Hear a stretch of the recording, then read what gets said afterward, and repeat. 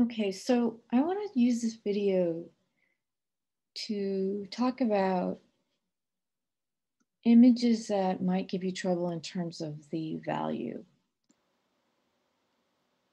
If you have Photoshop, you can use this filter to analyze your paintings.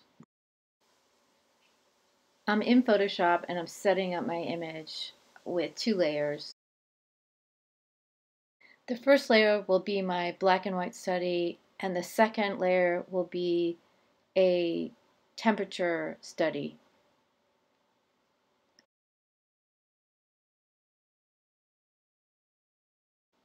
Here I'm making a layer adjustment to black and white.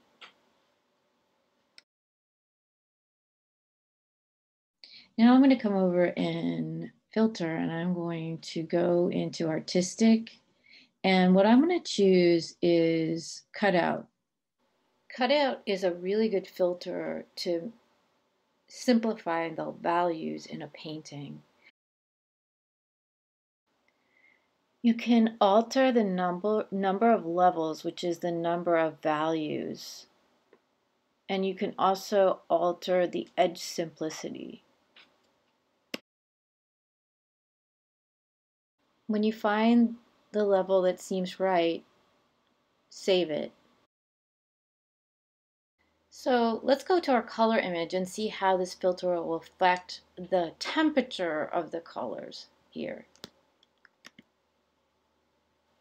I'm adding one more level. When you feel happy with the image, save it and use it to paint from.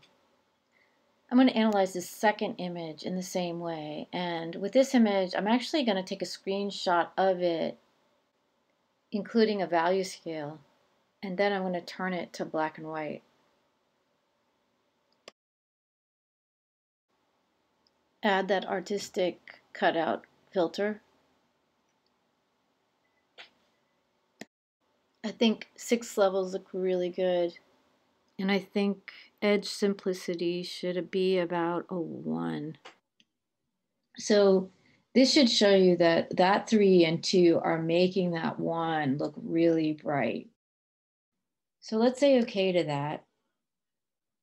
And then I want to look at the color image and we're going to put the same filter on it. And this might give you some ideas about what what this is. This is not a white. This is a little bit more yellow. These are a little bit more browns than you would expect.